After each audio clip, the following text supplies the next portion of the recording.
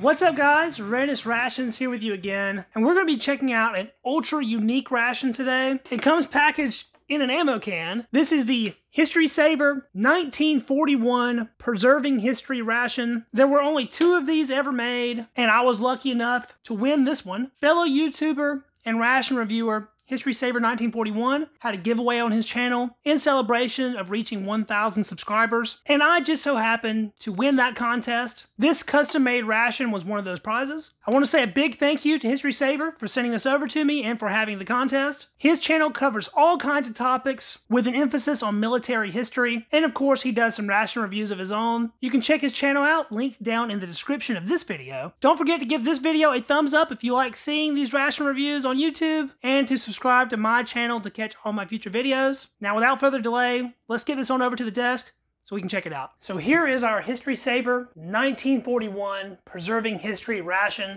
packed in a 30 caliber ammo can that's been painted black. Let's see what's included. Looks like it's a canned ration. We have a B unit that was packed for Minotaur Trading Company. The B unit is a throwback to the old Meal Combat individual B unit. It is a canned ration unit that contains bread items, an MRE spoon, a very thoughtful toothbrush, a can opener to be able to dig into these cans, a C unit can, which is like an accessory kit, and lastly, our main entree, chicken and rice and sauce. These were all packaged March 2nd of this year, so extremely fresh. History Savior chose the items that went into this ration. This ration was packaged by Minotaur Trading Company for History Savior, and so most of the individual components that this ration contains are available from Minotaur Trading Company. I've never had the opportunity to review something quite so exclusive. They actually included two little can openers. They look like P38 style can openers, not the larger P51. Now let's open up this B unit first.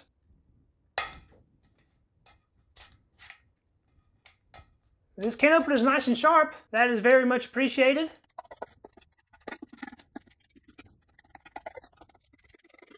That actually opened up very easily.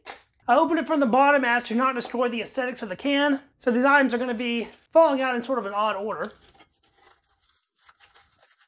It looks like we have some rich tea biscuits. Six total biscuits, two of which are pretty crumbled up but the rest are in good shape. Good bit of crumbs floating around in there. And we have two one ounce packages of cream cheese icing. That was separated by a little paper divider. Next, we'll take a look at that C unit, opening it from the bottom once again.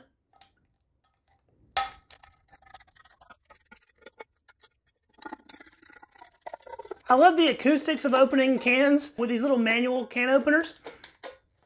As you get closer to the end, the sound signature gets deeper and deeper until the can pops. That thing is packed full of stuff. We have a two pack of Biscoff biscuits, a 32 count pack of Diamond brand matches with green tips, a sodium free beef bouillon package, two 100% pure black tea Irish breakfast tea bags, two Nescafe Taster Choice House Blend freeze dried coffees, some Fresh Mint brand toothpaste for our toothbrush, copious amounts of sugar bags, looks like seven in total, three non-dairy coffee creamers, a piece of Bazooka bubblegum, two fruit lifesavers, a moist towelette, two water purification tablets with instructions, that's a nice little inclusion, and two tiny packages of iodized salt. That does it for the C unit.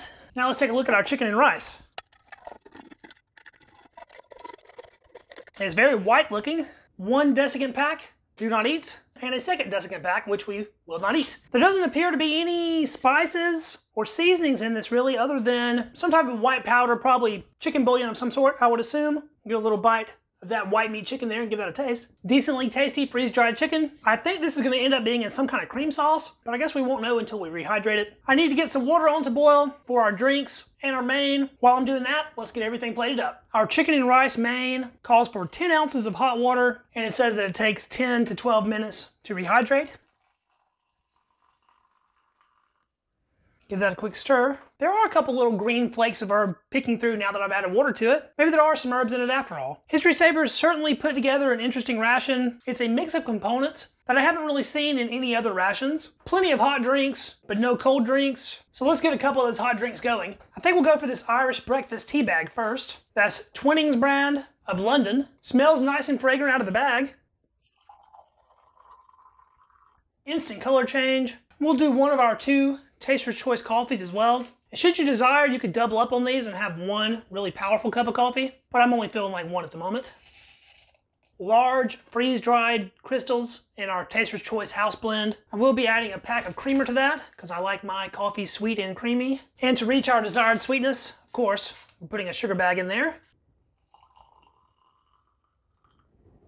These instant coffees are not super powerful, so you want to go a little bit light on the water. I probably put about six ounces in this, and that's what I would go for on the high end. Lastly, we do have our package of sodium-free beef bouillon. It states in the back that one of these packages is equivalent to one bouillon cube, and that it should be reconstituted in one cup of hot water. Powder is actually not as brown as you would think. It's kind of lightly colored. This gives that a little bit of a taste. Dry. Whoa, even being sodium-free, that's still fairly salty. It has a nice, deep beef flavor. There's some onion in this as well. I bet this would be really great mixed into the chicken and rice, but I want to try it on its own as well. So I'm going to reserve just a little bit of dry powder in that package, and I'm going to add about four ounces of water to this. I'm going to give the rice a quick stir to check our consistency. Still seems to be quite a bit of liquid in there, but things are thickening up a little bit. Let's try out one of these round, rich tea biscuits. Really nice snap on that. These are super light and airy and crispy. They smell like a very light graham cracker. We'll see how they taste. Super crisp and airy. They have a nice level of sweetness, but very neutral in flavor. Dry my mouth out just a little bit, so I think that calls for a sip of coffee. I might have went a little heavy on the water. This really doesn't have that pungent, robust taste. It is slightly bitter though. I think one of these biscuits would be very nice soaked in a bit of this coffee to add some extra sweetness to the coffee. For sure. The texture is no longer crunchy. It's just straight mushy after just a moment's dip in that coffee. But the sweetness of the biscuit complements the coffee very well. That's really nice. That Taster Choice House Blend is not a very impressive cup, but I'll even take mediocre coffee over no coffee any day. It was good enough to finish off. The main still needs a little more time, so I suppose we'll check out our cream cheese icing while we wait. I haven't had this in a while, I remember it having a bit of a chemical flavor, off-white cream color, super sweet, with a little bit of an artificial chemical bite. I think it'll be decently good on one of these biscuits though, so let's give that a taste. Oh yeah, it's not bad at all. Sweet on sweet. The creamy icing is a nice complement to the crunchy biscuit. I feel like there's a recipe you could do with one of these packs of icing, one of these packs of coffee, and one of those biscuits, but I won't be doing that in this video. Let's give one of our two Biscoffs a taste. Lotus branding on that. Very easy, soft crack. Those are very crisp and aromatic, super fresh, sweet, really good. I think I like these Biscoffs more than the tea biscuits, but both are pretty good. Put a little bit of our icing on that. That should be quite nice. Pretty pleasant indeed. Wash that down with a sip of Irish breakfast tea. That's a really nice cup. Much lighter than I thought it would be. Being a black tea, I would prefer mine with a little bit of sugar. Even before adding sugar to it, the bitterness level on this tea was very low. It has a little bit of that tannic, astringent mouthfeel, but it's not particularly bitter. It's light and pretty refreshing, even though it's hot tea. I think we've finally given our chicken and rice long enough. It is thickened up very well. Let's get it out on the tray here. It turned into quite the nice portion size. This looks a lot like a dish I'm very familiar with. Southern style chicken and rice. History Savior is a Southern boy too. Of course, I'm from Georgia. He lives over in Alabama, so he's my next door neighbor. Let's take a good up close look at this. So there's very little chicken in it, but there are some chicken chunks distributed throughout. Most are quite small. It's very white in color. The sauce that's on it appears to be a white cream style sauce. There may be some white cheese in this, but I'm not getting very much cheesy aroma. And there are very few little flakes there of green herb, most likely parsley. It smells very basic. It's not particularly fragrant. I'm expecting this to have a very neutral, hearty flavor. I am a fan of the portion size though. Let's go in for a big spoonful of this. Get a little chicken, plenty of that rice, and let's see how it tastes. It rehydrated perfectly.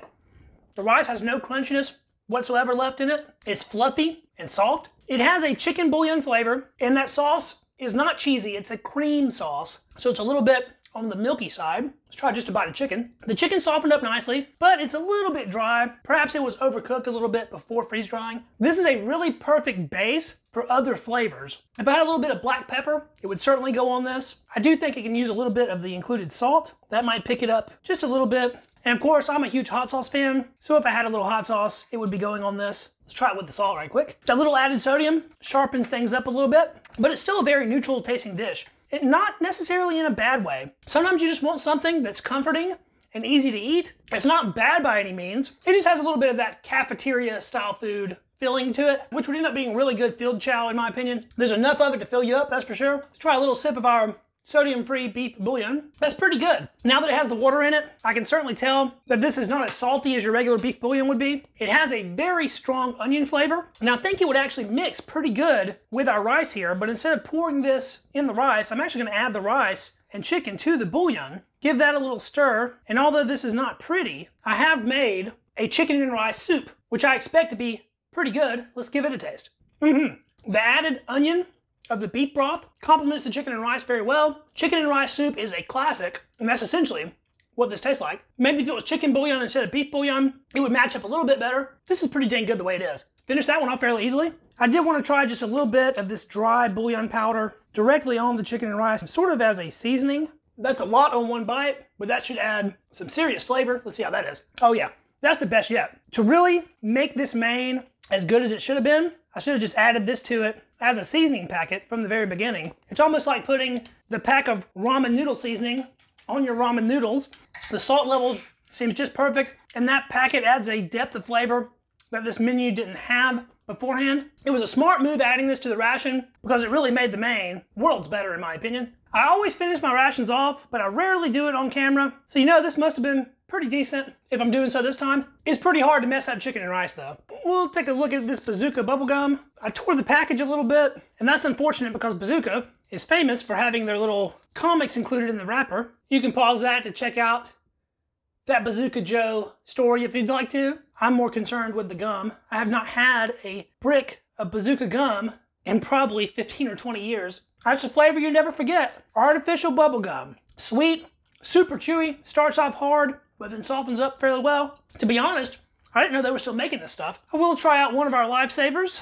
From History Savior comes a lifesaver. Let's see what flavor this one is. That was pineapple or maybe pina colada. I'm gonna say pineapple. Sweet and chewy. I think you're just supposed to suck on these, but I can never help myself. I always have the compulsion to chew. I guess we'll finish off this meal by giving my teeth a good cleaning. I'm gonna use the inside of this B unit can as my water vessel. Give that toothbrush a good little dip. And we'll squeeze on some of our Fresh Mint toothpaste. It's a very clear gel toothpaste. Put on a generous amount. Let's give that a shot.